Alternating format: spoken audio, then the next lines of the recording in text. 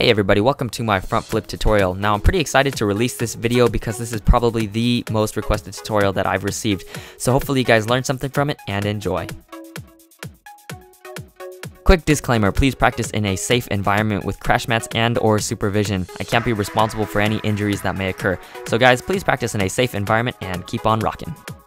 Okay, so here's some things you should probably be able to do before attempting the front flip. So you should be able to do a front roll, a handstand to roll, and finally a dive roll. And if you can't do a dive roll, that's okay. We will get that figured out here in a second when I break it down.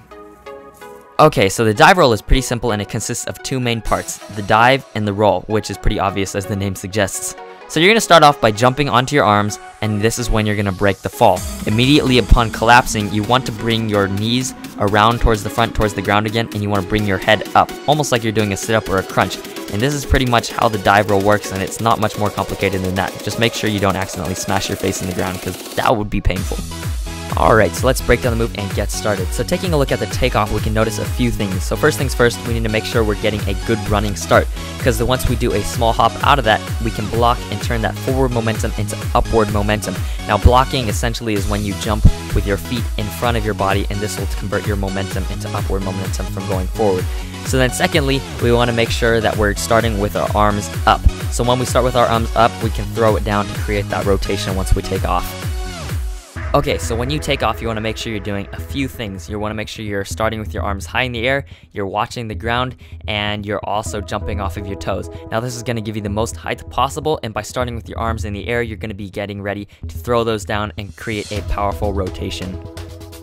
Okay, so once you've jumped and you're in the air, you want to make sure you're still looking at the ground because this is going to give you an idea of where you are in the air and kind of give you a spatial awareness. So that way you know when to open up.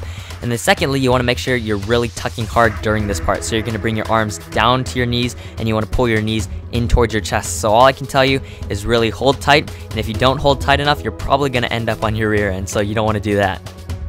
Okay, so once you're upside down, there are really only two things I can tell you. First, keep your head neutral, and second, make sure that you're still holding that tuck.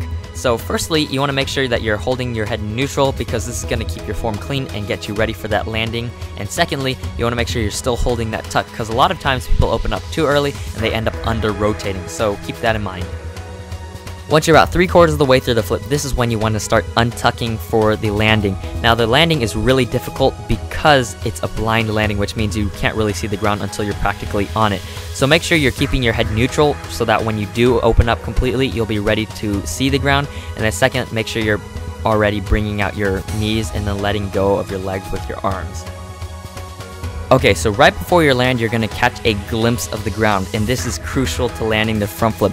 Even though it is a blind landing, you're still to be able to see something right before you land. So make sure you're watching for the ground and make sure you're seeing it. And then secondly, make sure you just bring your legs to the ground for a soft landing. And if all else fails, if you under rotate, make sure you don't put your arms back because you might hurt your arms. And make sure if you're going too far forward or you over rotate, make sure you just roll out of it. So that was it for the front flip tutorial, guys. I hope you guys learned something, and if you followed the steps correctly, then you should have landed your first front flip. Congratulations.